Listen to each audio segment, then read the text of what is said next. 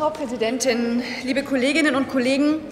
Die Mietenexplosion in unseren Städten ist mittlerweile an einem Punkt angekommen, wo quasi jede erstrittene Lohnerhöhung von den steigenden Mieten aufgefressen wird. In den 20 Städten mit dem stärksten Mietenanstieg sind die Mieten fast doppelt so schnell gestiegen wie der Bundesdurchschnitt der Einkommen. Kein Wunder, dass es für Geringverdienende und auch für Durchschnittsverdienende in den Großstädten und in den Metropolen kaum noch bezahlbaren Wohnraum gibt.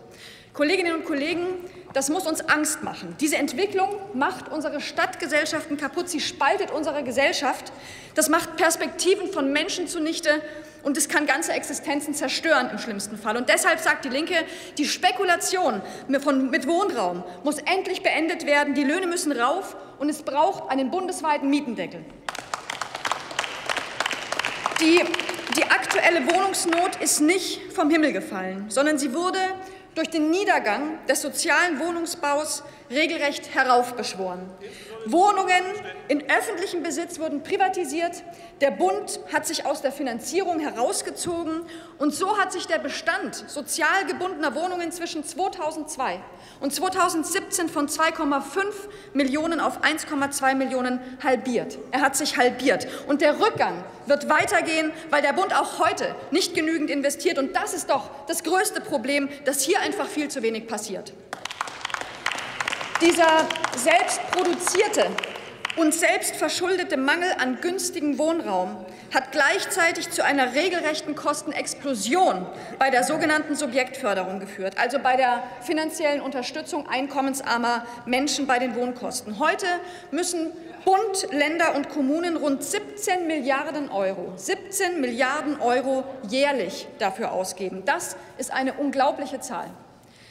Eines ist klar, solange es die Große Koalition nicht schafft, für ausreichend bezahlbare Wohnungen zu sorgen, sind Bund und Länder in der Pflicht, das Wohngeld so zu gestalten, dass Menschen mit geringem Einkommen auch eine reale Chance auf dem Wohnungsmarkt haben. Die von der, die von der Bundesregierung geplante Anpassung des Wohngeldes ist noch viel zu passiv und zu gering. Das Wohngeld muss erhöht, muss ausgeweitet und muss jährlich angepasst werden. Es muss sich aus den real zu zahlenden Wohnkosten ableiten, muss also auch die Heizungs- und Warmwasserkosten einbeziehen. Der Kreis der Anspruchsberechtigten muss ausgeweitet werden und wir sagen, wer Anrecht auf eine Sozialwohnung hätte, soll auch Wohngeld erhalten können. Und kein Wohngeldhaushalt soll mehr als die zumutbaren 30 Prozent des Einkommens für die Bruttowarmmiete ausgeben müssen. Aber eines ist doch auch offensichtlich. Die Probleme auf dem Wohnungsmarkt, die heute die Erhöhung des Wohngeldes so ungeheuer dringend machen, die lassen sich doch auf diesem Wege gar nicht ursächlich beheben. Die Erhöhung des Wohngeldes ist ja nur eine Kompensation von zu wenig bezahlbarem Wohnraum. Volkswirtschaftlich sinnvoll und nachhaltig wäre es ja genau andersrum, nämlich dafür zu sorgen, dass Löhne, Gehälter und auch Transferleistungen schlichtweg zum Leben ausreichen, weil nämlich genug sozial geförderter und bezahlbarer Wohnraum vorhanden ist und weil die Mieten nicht mehr steigen. Das wäre doch eigentlich der richtige Weg, Kolleginnen und Kollegen. Statt also am Ende auch noch die steigenden Mieten der großen Immobilienkonzerne wie Deutsche Wohnen, wie Vonovia oder Patricia zu bezuschussen, sollte die Regierung lieber mal damit beginnen, wirklich und nachhaltig in den sozialen Wohnungsbau zu investieren.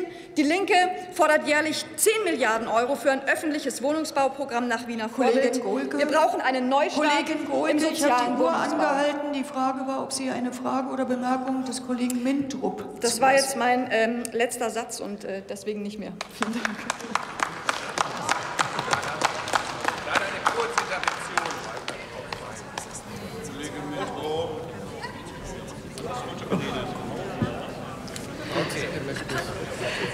Das Wort hat der Kollege Chris Kühn für die Fraktion Bündnis 90 Die Grünen.